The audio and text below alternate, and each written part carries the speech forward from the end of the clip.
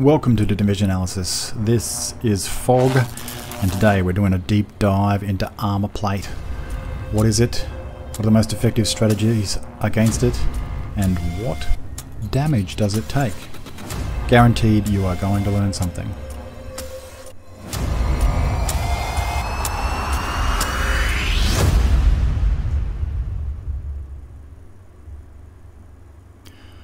Armor plating. You will see this icon above an enemy's head. It means that it is shielded from damage to everything behind it until that armor plate has been destroyed and only then can you attack the health that's behind it. You'll see it on Black Tusk, Hyena, True Sons, all the tanks and heavies from each of the factions. The Warhounds, you'll see it on the Rushers, Hyena and Cleaner, Hyena Shield guys, True Sons and Rikers heavies in their helmets. Let's start with the heavies.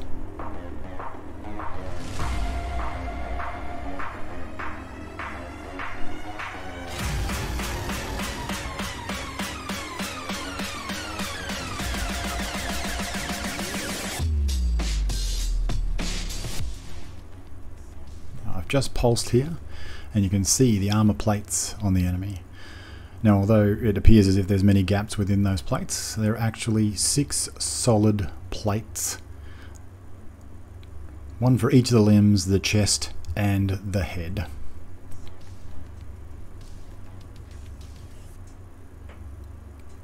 Each one of these plates can be destroyed, and only then will you be able to strike the enemy's true health that lies behind it.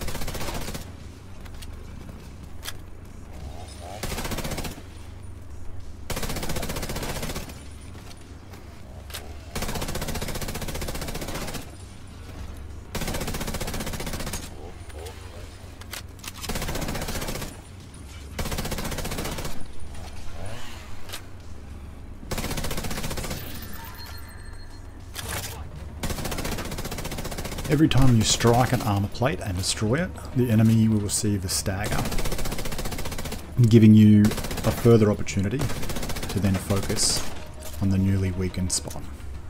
The Rikers heavies have a shield, and behind that they have armor plating as well.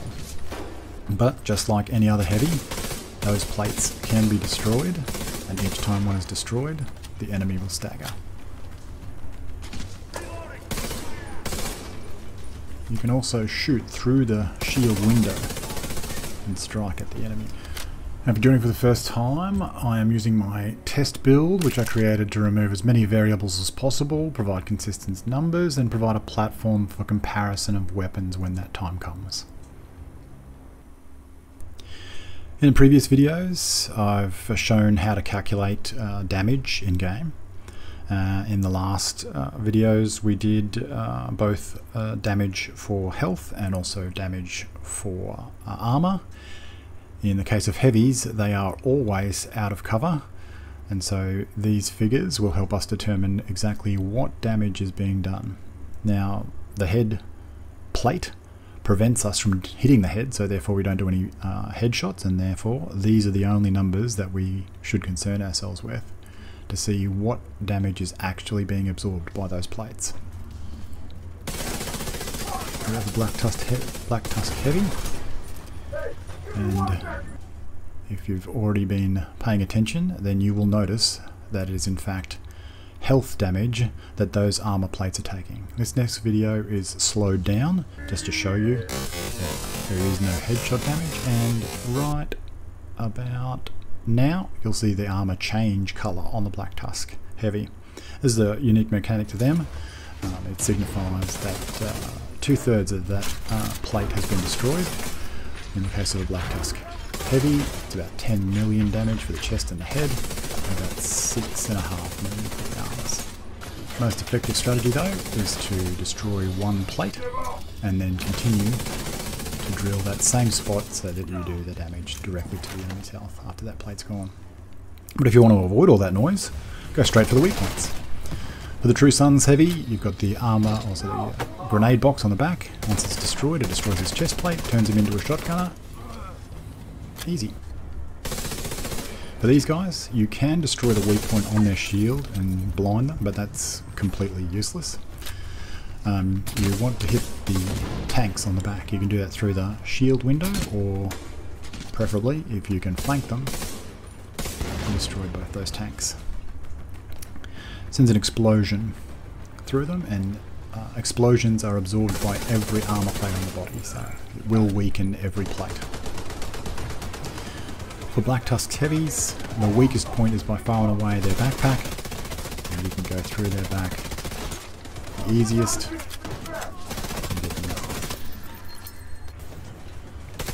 These guys have some very cool mechanics. The cleaners. You'll see he's got a flamethrower and he's just about to throw a Molotov cocktail. Here he goes. So if you destroy the red box on his right leg, he's no longer able to throw Molotov cocktails. If you destroy the oxygen tank on his left leg, he'll take his mask off, and it also sends a large explosion through all of his armour. I don't give him enough time to take his mask off. I blow up the tank on his back, which uh, makes his flamethrower inactive. He throws it away, and he takes out an axe. Once you destroy a weak point, it doesn't work anymore.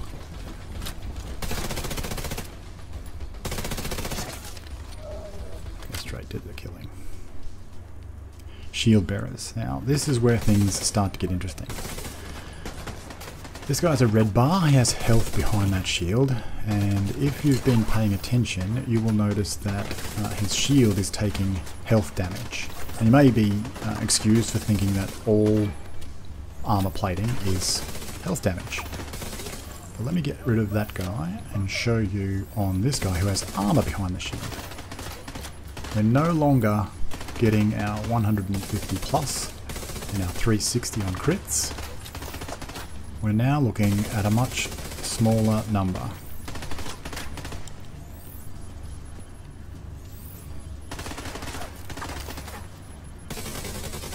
So it's not health damage anymore. 127k and 305k. It's actually less than our armor damage. So what's actually going on here? Same calculations take place, but somewhere along the line, there was no coding for damage. It's literally just damage to target out of cover, and that's it. that gives us our 127k, and our crit goes on. So it's a truly unique damage. I'm going to call it armor plate damage from here on in. It is less than damage to armor, and it is less than damage to health. Or doesn't? It's not health, and it's not armor damage. It's its own unique damage type. If you didn't already know, the hyenas uh, shield guys do not have an armor plating behind the shield, so you can just go straight to their health bar through the shield window. Rushers.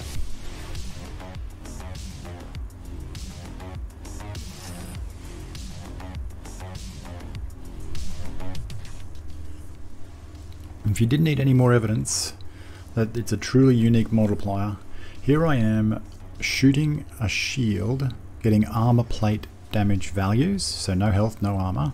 And if you didn't already know, the weakness to these guys is that their shield is short and you can shoot them in the uh, feet. But now I have removed the armor from this rusher. So essentially now the only thing that sits behind the shield is health. And when I start firing again, lo and behold, the shield is now taking health damage. So the question begs to be asked, is the coding wrong that it doesn't include armor damage, or is the coding wrong that it's ever been including health damage?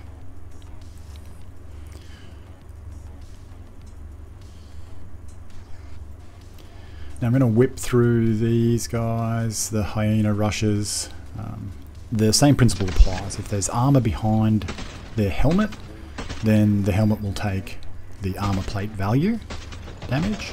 If there's only health behind it, then it will take health damage. But I'm not going to spend too long because just don't shoot them in the helmet. Then we have our heavy weaponers.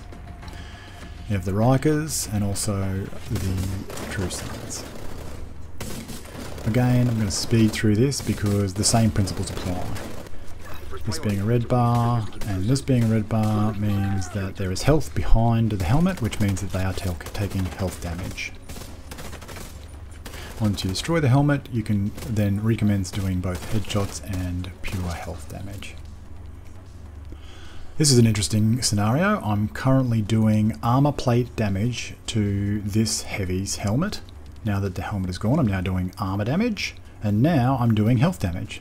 Three uniquely different damage values. Oh, and if you didn't realise, their weak point is the ammo box in the back, which makes them do the I've got bees all over me dance. My favourite, Warhounds. Three unique types. You have the Sniper Dog, you have the Turret Dog, and you also have the Grenadier Dog. Each with their uh, unique um, weapons and also features. But something that is common to all of them is that they have an armor plate on both sides of them and on their turret. And you must destroy that armor plate before you can do pure health damage against them. Now something that is unique to Warhounds only is leg damage. You can also bypass the armor plating and go straight to health by shooting them in the legs. But the damage is significantly less. Here's the damage that we are supposed to be doing with health damage, and here's the damage that we're actually being awarded. So what's going on? We have our base weapon again, times our weapon damage. There's no total weapon damage, and we are still doing damage to health. The target is still out of cover, and we should be getting 154,585. Instead, we're hit with a 90% damage reduction, and that reduces it down to only 15,459. And then we had a 230,000 crit. So what's happening here? We have base damage, weapon damage, we're still doing damage to health. We go all the way through to here, and our crit damage at 139.2%. We're actually getting that full value.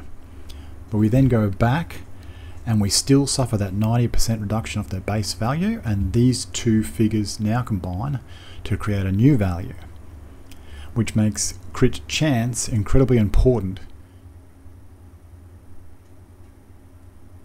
But once again, if you want to avoid all of that, let's go straight to the weak points. So for sniper dogs, on their turret they have a red box, hard to see in this light. So I've put a diagram up in the corner. But once you destroy that, they then disrupted. It's clearer here. I accidentally destroy his armor plate. but The red box, here it is, destroyed and he's now disrupted. For sniper dogs, you can also go direct to health damage, avoiding the armor plate altogether by shooting them in the butt. They have no armor plate there. Here we are. Try to avoid getting shot in the face by a dog twice, it hurts. Uh, here you can see fully plated and straight to health damage. Then we have our grenade dogs. You can go straight to health damage bypassing the armor plate, but not on the right side. You have to shoot the left side of the turret.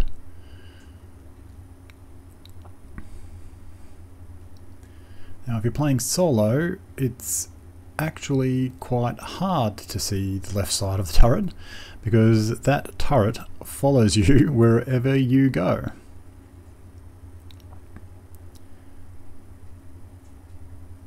So unless you it's not looking at you, you've surprised it, or you manage to immobilize it.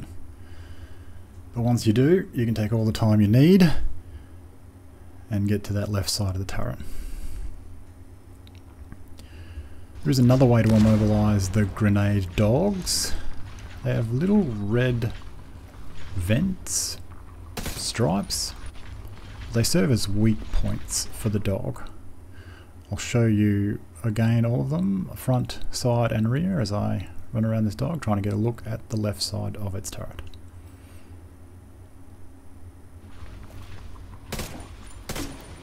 Quite small and finicky trying to hit them. As you do, the dog is essentially electrocuted, but it doesn't last for very long.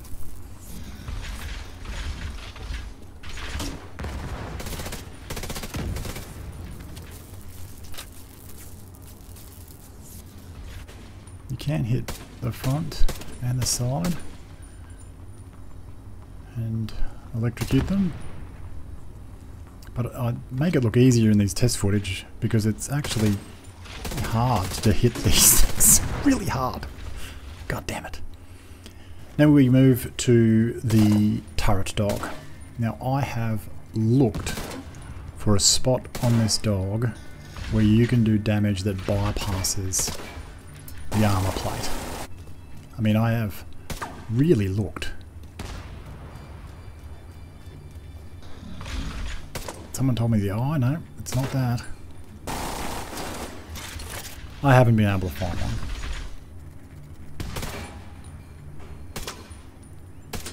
It seems that everywhere is armor plated, but its weak points, these ball joints at the top of its leg, are very easy to hit and destroy.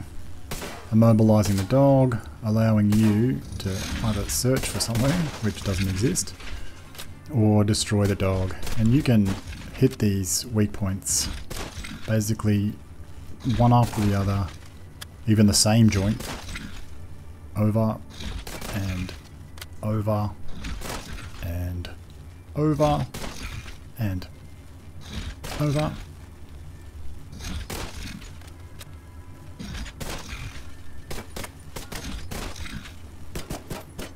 Two pistol shots.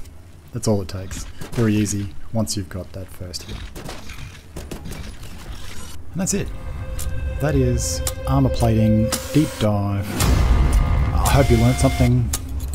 Uh, if you did, give it a like, comment, share, and I will see you in the next one.